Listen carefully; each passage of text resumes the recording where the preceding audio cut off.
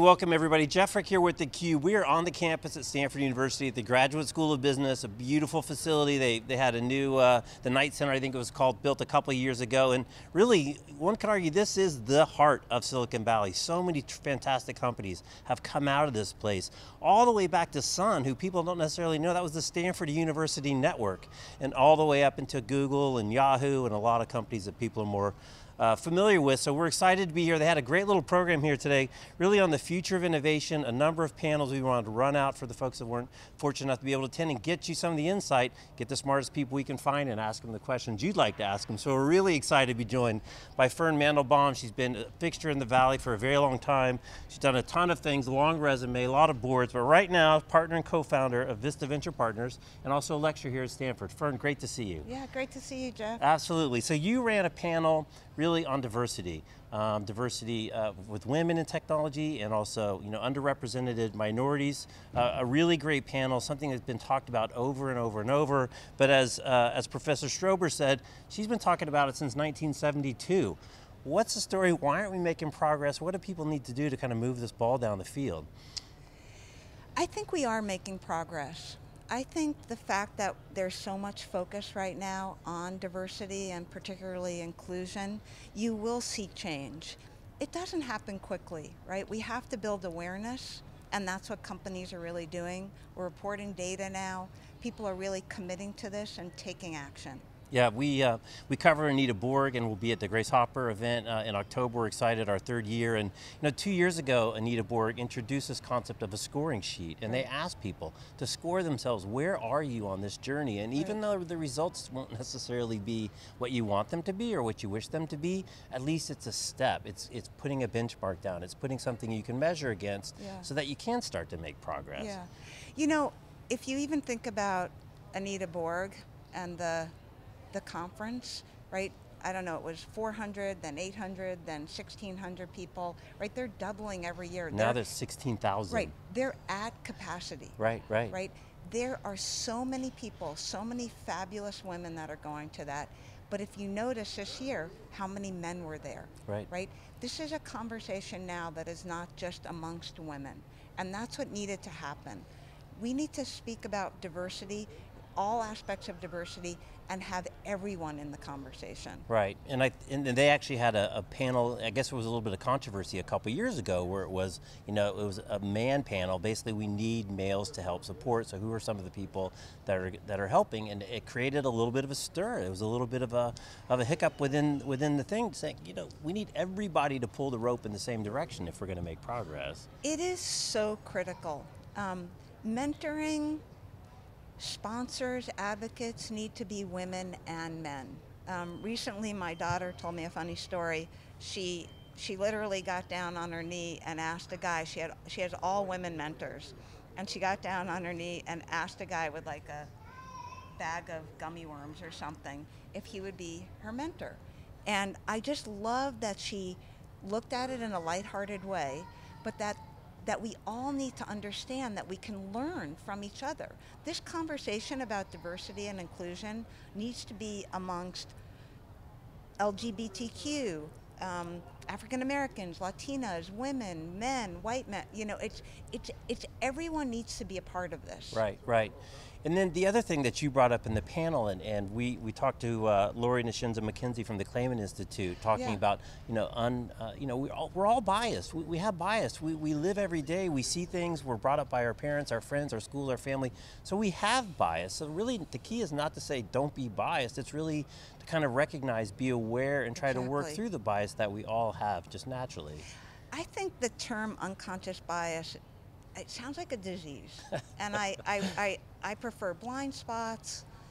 Uh, it's not a disease. We all have it. It's neurological. It's built in. It, it, it helps us. It makes us, um, you know, it's a defense mechanism in some ways. But the issue is exactly what you said.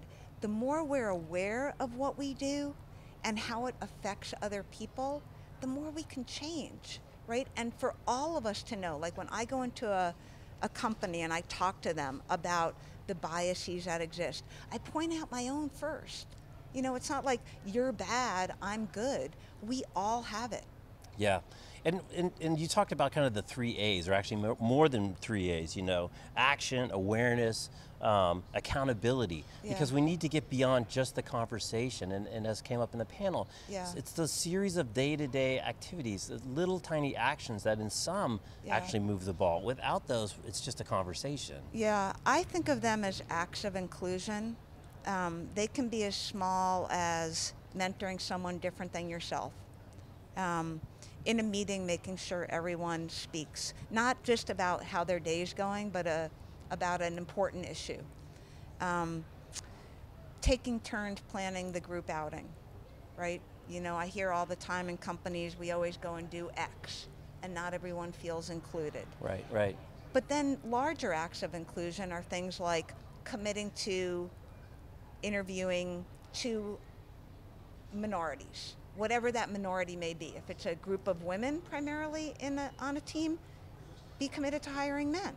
You know, if it's mostly Asian men, you know, talk to Polynesian women. You Right, know, right. whatever it is, so that you're committing to finding the best people you can, but different perspectives. Right, and you brought up a great point again in the in, in the panel. It comes up time and time again that this isn't just the right thing to do. There's positive business outcomes. Diversity of opinions and problem solving get generates better outcomes. no one so i work with a lot of companies i you know i have a venture fund i teach at the business school i teach in the engineering school and i work with with companies on this and unless i talk to the ceo or the partner in charge of a venture fund and they tell me they're committed to this because it will make their business better i'm not going to work with them to just do it because you should do it that will not that will not create change. Right, right. This these are there are business reasons to do it. Will it also feel better? Will you create an inclusive culture? Will people be happier? I absolutely believe so. But the reason to do it is it's good for business. And do they get that? Is that is that a hard thing to communicate, or they, they have thinking about it? I mean, what, what's kind of the feedback you get in this process on your advising these companies? So some people believe it. Those that talk to me believe it.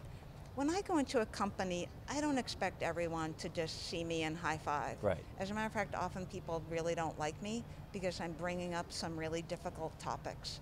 Um, my goal is for them to talk about it and to have this be part of the conversation, not to be a taboo topic.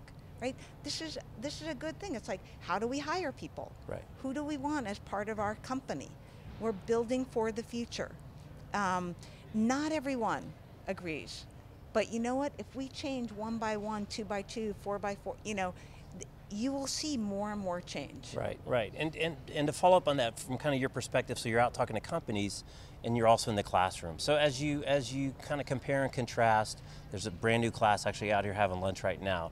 The, the younger generation coming through, the next couple classes that coming out of Stanford. Yeah. Do you see a change in behavior? Do you see a change in kind of acceptance? Or even then, is it still birds of a feather, but just a different flock than maybe the traditional flocks, of how we kind of separated things? I think it's really cool that the business school has a class called entrepreneurship from diverse perspectives. Your class. Right, my class.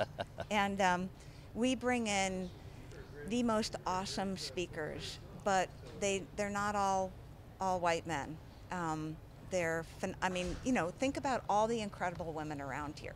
Absolutely. You know, Amy Chang, Amy Pressman, Julia Hartz. I mean, I can go on and on. They're phenomenal women venture capitalists, right? They, you know, Patricia Nakache, Maha Ibrahim, Aileen Lee, Ann Miura-Ko. Like, I, I, you know, I have a wait list for people to come to my class. We need to highlight those people, right? We, there are so many awesome people running these companies that people at the business school need to see, right? I can do it like them. But I'm also teaching a class this year called Building Diverse and Inclusive Organizations. You know, for it, all comes down to your manager, right? And so if we can have great managers leaving this school and all schools, understanding how to build this into their organizations. So it's not about just attracting these people, it's about retaining them, having them thrive within your company. So if the people leaving here know how to do that, understand why it's important from a business perspective, and I would argue societally, but from a business perspective, right. they will build those into their organizations. And even if they're not running a company, if you go to a company, who matters to you? It's your manager. Right. Right? I have a company called BetterUp, which is a coaching platform for managers. Right? We need to train managers on how to be inclusive, how to create these cultures within their companies. Yeah, well, it's, it's a positive. It's a positive wrap. You know, there was some conversation in the in the panel. or, You know, is it kind of a, a positive looking future or a negative looking future? And some of the other conversations about AI and, and machines and robots Yeah. and this and that. Yeah. But you got a positive outlook, and it sounds like things are going in the right direction, and and uh, and a refreshing, great class of kids coming through to, to move this move this along. I think we will move along. All right, awesome. Well, Fern, thanks for taking a few minutes out of your day and uh, stopping by the Cube. Yeah, sure thing. All right, reporting from uh, the Stanford Graduate School of Business, I'm Jeff Frick. You're watching theCUBE. See you next time. Thanks for watching.